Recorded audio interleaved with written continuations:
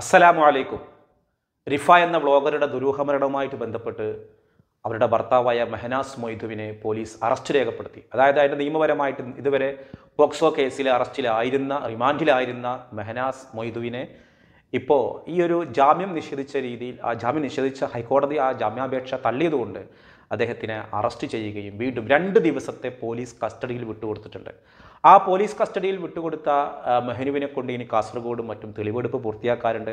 രണ്ട് ദിവസം കൊണ്ട് എന്തൊക്കെയാണ് പോലീസ് ഇനി അന്വേഷണത്തിൽ നടക്കുക എന്ന് നമുക്ക് കണ്ടറിയേണ്ടത്? അതോടൊപ്പം തന്നെ ഈ ഒരു വിഷയവുമായിട്ട് ബന്ധപ്പെട്ട് ഈ തെളിവെടുപ്പ് നടന്നത് ഈ സംഭവം നടന്ന ദുബായിലേക്കും ദുബായിൽ തെളിവെടുപ്പ് നടത്തണമെന്നും അന്വേഷണം ദുബായിലേക്ക് വ്യാപിപ്പിക്കണമെന്നും ആവശ്യപ്പെട്ട് റിഫയുടെ വീട്ടുകാരി കോടതിയെ സമീപിച്ചിട്ടുമുണ്ട്. മാർച്ച് ഒന്നിനാണ് പുലർച്ചെ ദുബായിൽ വെച്ചിട്ട് റിഫ സ്വയം ജീവനൊടുക്കിയ നിലയിൽ കാണപ്പെട്ടത്. ആ പോലീസിന്റെ അന്വേഷണത്തിൽ വീട്ടുകാരുടെ പരാതിയെ തുടർന്ന് പോലീസ് നടത്തിയ അന്വേഷണത്തിൽ റിഫയുടെ മരണത്തിൽ മെഹനാസ് മൊയ്തുവിനെ പങ്കുണ്ടെന്ന് എന്നുള്ളത് വ്യക്തമായ സൂചന ലഭിച്ചിരുന്നു. അതിനെ തുടർന്നാണ് അയാൾ ഒളിവിൽ പോയതും പിന്നീട് മുൻകൂർ ജാമ്യാപേക്ഷ സമർപ്പിച്ചതും. ഒടുവിൽ പോലീസ് തന്ത്രം മാറ്റുകയും പിന്നീട് അയാളെ പോക്സോ കേസിൽ തീർത്തും അന്യായമായ രീതിയിലുള്ള ഒന്നാണെന്ന് ഞാൻ പറയും. ഈ വിവാഹ ഈ പ്രായപൂർത്തിയാകുന്നതിന് മുൻപ് വിവാഹം ചെയ്തു എന്ന രീതിയിൽ നിന്നൊരു കേസുണ്ടാക്കിയിട്ട് ഏഹ്, മെഹനാസിനെ അറസ്റ്റ് ചെയ്തു. ആ അറസ്റ്റിന് ശേഷമാണ് വളരെ അത്ഭുതകരമായിട്ട് നമ്മുടെ ഹൈക്കോടതി അയാളുടെ മുൻകൂർ ജാമ്യാപേക്ഷ തള്ളിയത്. ഈ കൃത്യം നടന്നത് ദുബായിലാണ്. ഈ ദുബായിൽ നടന്ന ഈ ക്രൈം ഇനി ഇതിന്റെ യഥാർത്ഥ അന്വേഷണങ്ങൾ നടക്കണം തന്നെ ഇതിന്റെ തെളിവെടുപ്പുകൾ ദുബായിലേക്ക് പൂർത്തിയാകേണ്ടതുണ്ട്. അതേപോലെ ഈ കുറ്റകൃത്യവുമായിട്ട് ബന്ധപ്പെട്ട് പലതും ദുബായിലായതുകൊണ്ട് തന്നെ അവിടെ പോകണമെങ്കിൽ വിവിധ അനുമതികൾ ആവശ്യമാണ്. അതുകൊണ്ട് തന്നെയാണ് റിഫയുടെ വീട്ടുകാർ ഈ വിഷയവുമായിട്ടുള്ള ബന്ധപ്പെട്ടുള്ള അന്വേഷണങ്ങൾ ദുബായിലേക്ക് കൂടി വ്യാപിപ്പിക്കണമെന്ന് രേഖാമൂലം കോടതിയോട് ആവശ്യപ്പെട്ടിട്ടുള്ളത്. ഇനി ഇനി ഇതിന്റെ ഒരു മറുവശമുണ്ട്. അതായത് മെഹനുവിന്റെ അഭിഭാഷകൻ അതായത് മെഹനുവിന് പി വിഷയം രണ്ട് ദിവസത്തെ പോലീസ് കസ്റ്റഡിയിൽ കഴിഞ്ഞാൽ വീണ്ടും കോടതിയിൽ ഇവനെ ഹാജരാക്കും. ആ സമയത്ത് വേണമെങ്കിൽ ഇവൻക്ക് ജാമ്യ ഹർജി സമർപ്പിക്കാം. അല്ലെങ്കിൽ പതിനാല് ദിവസത്തെ റിമാൻഡ് കാലാവധി കഴിഞ്ഞാൽ കാലാവധി കഴിഞ്ഞാൽ ജാമ്യാപേക്ഷക്ക് പരിഗണിക്കാം. പക്ഷേ ഇതോടൊക്കെ നമ്മൾ ശരിക്കും ചിന്തിക്കേണ്ടുന്ന ഒരു കാര്യം നമ്മുടെ കേരളത്തിൽ നമ്മുടെ നാട്ടിൽ ഇതുപോലെയുള്ള വിഷയങ്ങൾ ആത്മഹത്യാ പ്രേരണ ആത്മഹത്യാ പ്രേരണ എന്ന് പറയുമ്പോൾ ഈ ഈ ഒരു മെഹനുവിന്റെ അഭിഭാഷകർക്ക് വാദിക്കാൻ കഴിയുന്ന ഒന്നാണ് റിഫയുടെ മരണത്തിൽ ആരാണ് ഉത്തരവാദി? റിഫയുടെ മരണത്തിൽ മെഹനുവാണ് ഉത്തരവാദി. മെഹനു മാത്രമാണോ ഉത്തരവാദി? ഇങ്ങനെ ചില ചോദ്യങ്ങളുണ്ട്. എന്റെ പ്രിയപ്പെട്ട പ്രേക്ഷകരെ നിങ്ങൾ തുറന്ന മനസ്സോട് കൂടിയിട്ട് ഈ വീഡിയോ കാണണം. ഏതെങ്കിലും പക്ഷത്ത് നിൽക്കുന്നു എന്നല്ല ഞാൻ ഉദ്ദേശിക്കുന്നത്. അതിന്റെ ഒരു നിയമപരമായ കോടതിയിൽ നടക്കുന്ന വാദങ്ങളെയാണ് നമ്മൾ ഉദ്ദേശിച്ചത്. ഈ റിഫയുടെ മരണത്തിൽ മെഹനുവാണ് ഉത്തരവാദി. അത് കറക്റ്റാണ് മെഹനു മാത്രമാണോ ഉത്തരവാദി എന്ന രീതിയിലേക്ക് വാദങ്ങൾ കൊണ്ടുവരുമ്പോഴാണ്. അതാണ് മിക്ക ആത്മഹത്യാ പ്രേരണകൾക്കും കോടതിയിൽ നിന്ന് ശിക്ഷ ലഭിക്കാതെ പോകുന്നത്. ആകെ കൂടി ലഭിക്കുക വർഷങ്ങളോട് നീണ്ടു നിൽക്കുന്ന വിചാരണ. ആ വിചാരണക്കൊടുവിൽ കൃത്യമായ എവിഡൻസ് സമർപ്പിക്കാൻ കഴിയാതെ കോടതി ആ കേസ് തള്ളും. ഒരു നിലക്കും ആത്മഹത്യാ പ്രേരണയുടെ പേരിൽ കേരളത്തിൽ സമീപകാലത്ത് വളരെ വലിയൊരളവിൽ ആരെയും ശിക്ഷിക്കപ്പെട്ടിട്ടില്ല. നിങ്ങൾക്ക് ലിസ്റ്റ് പരിശോധിക്കാം.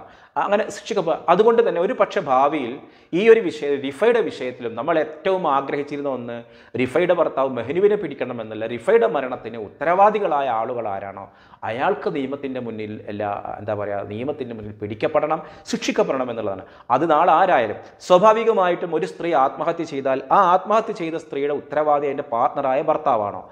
അയാൾ മാത്രമാണോ ഈ രീതിയിലുള്ള ചർച്ച വരും? അതായത് റിഫയെ കുറിച്ചിട്ട് മഹനു പറയുന്ന ആരോപണങ്ങൾ ആരോടൊക്കെയോ അവ- അവർക്ക് അ- അതുകൂടി കാരണമാണ് ഇങ്ങനെ ഒരു സംഭവം നടക്കുന്നത് എന്ന രീതിയിലേക്ക് ഇയാൾ വാദിച്ചു വരുമ്പോൾ.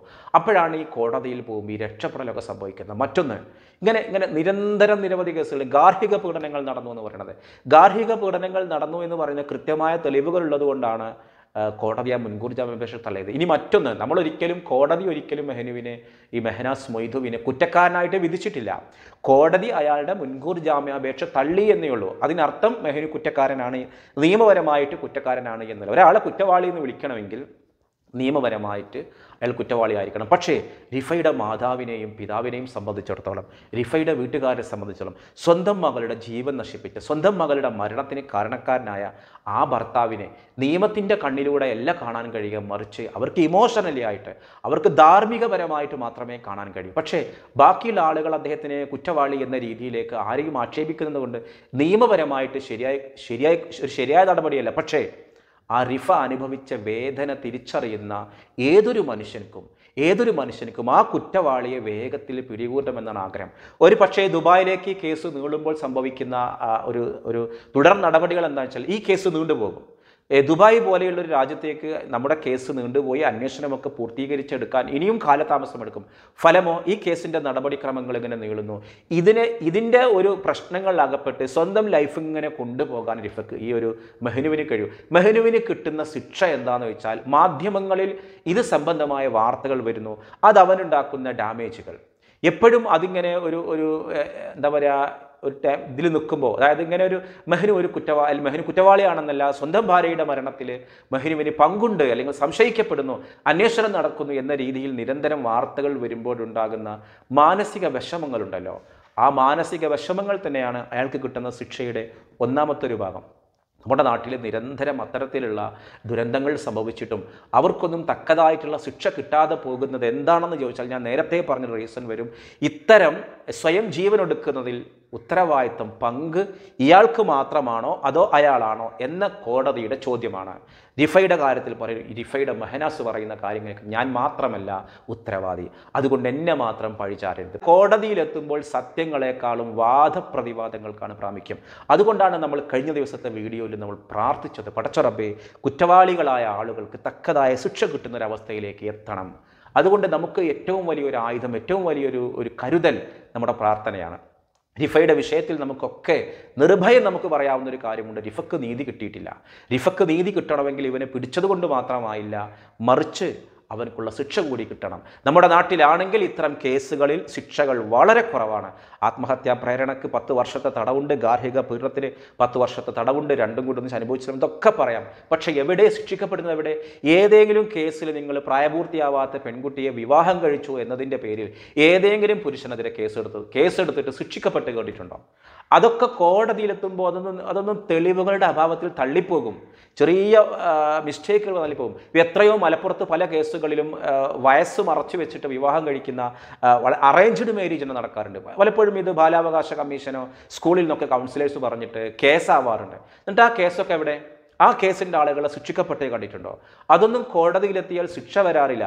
അതുകൊണ്ട് തന്നെ ഞാൻ ഏറ്റവും ഭയക്കുന്നത് ഇതിൽ ശിക്ഷ വരുമോ ഇല്ലയോ എന്നുള്ളതാണ്. ഏതായാലും ദുബായിലേക്കുള്ള അന്വേഷണം നീളുന്നതും തെളിവെടുപ്പൊക്കെ ദുബായിലേക്ക് പൂർത്തിയാകുന്നതും അവിടെ ചില അന്വേഷണം വരുമ്പോഴൊക്കെ എന്താണ് സംഭവിക്കാൻ പോകുന്നത് നമുക്ക് കാത്തിരിക്കാം.